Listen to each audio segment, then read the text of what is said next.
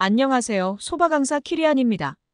오늘은 식당 수돗물에서 갑자기 냄새가 나 약수백비탕 오음양탕에 대한 이야기입니다. 옛날에는 우물에서 물을 길어 먹고 저녁이 되면 씻고 등목을 하기도 했습니다. 우물의 시원함이란 만져보고 마셔보지 못한 사람들은 모르는 상쾌함까지 갖고 있었습니다. 수박을 담가 놓을 수 있는 개울이나 강물들이 지천이라. 슈퍼나 식당에서 물을 사 먹는다는 것은 어불성설 절대 있을 수 없는 일이었습니다. 그러나 봉이 김선달 이 울고 갈 일이 벌어졌죠. 물을 사 먹는 것이 현실이 되었습니다. 식당에서 끓이는 가스오부시 육수도 생수나 정수기 물을 사용하는 곳도 있다고 합니다. 육수를 제법 잘 끓인다는 곳의 물 사용 비법을 보면 수돗물을 받아서 하루 묵힌다고 합니다. 안 좋은 냄새를 날리고 불순물을 가라앉히려는 목적인 것 같은데요. 바로 먹어봤을 때와 하룻밤. 진한 맛에서 물맛의 차이를 확실히 느낄 수 있습니다. 양념장도 하루 묵히면 더 맛있어진다는 그 숙성의 비밀일까요? 물을 숙성한다는 생각은 말이 안 되는 것 같지만 좋은 물을 만드는 방법은 예부터 있었다고 합니다. 음양탕이나 백비탕을 말하는 것 같습니다. 이름만 보면 아주 쓴 탕약 같은데요. 결론은 그냥 물입니다. 음양탕은 끓인 물에 찬물을 섞은 것이라고 합니다.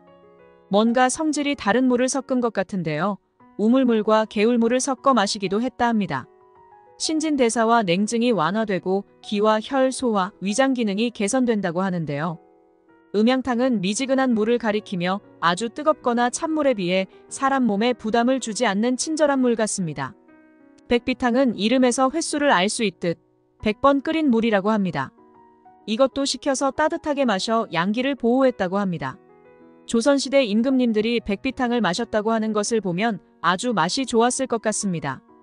끓이고 식히고를 반복한 것이 비법이라고 합니다.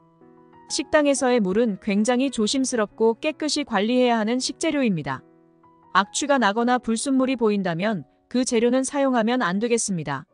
수타 소바 집에서의 물 사용도 다르지 않은데요. 면 무게의 70% 정도를 차지하는 큰 재료이기 때문입니다. 갑자기 옛날에 봤던 사연이 생각나는데요. 식당 주방에서 잘 사용하던 수도에서 갑자기 냄새가 났다고 합니다. 너무 갑작스러운 일이라 당황했다고 하는데요. 음식에까지 영향을 미치지 않을까 노심초사하셨다는 이야기죠. 범인은 다름 아닌 수도꼭지에 연결한 호수였다고 합니다. 확대 해석해보면 어두운 색의 대야나 그릇들도 조심해서 사용해야 합니다. 물이 지나가는 통로나 머물고 있는 장소가 어떤 환경인가에 따라 앞의 사례에서 보듯 악취나 부유물이 뜰 수 있습니다. 요즘 플라스틱 제품이 잘 나오지만 가격에 따라 폐급으로 나오는 것도 있거든요. 오늘은 여기까지입니다. 소바 강사 키리안이었습니다. 감사합니다.